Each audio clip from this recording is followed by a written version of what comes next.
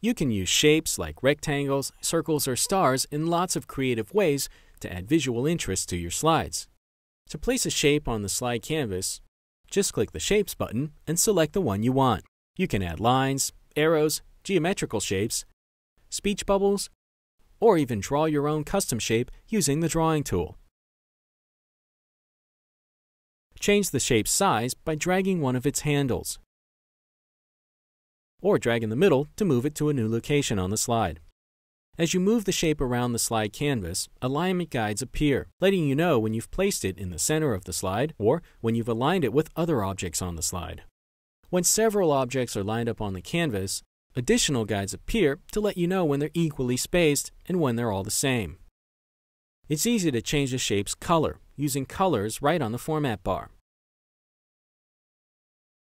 You can also make the shape more transparent so that what's under the shape can show through. You can also change the shape's border, called stroke, in the format bar. Choose a solid line, a dashed line, or none at all.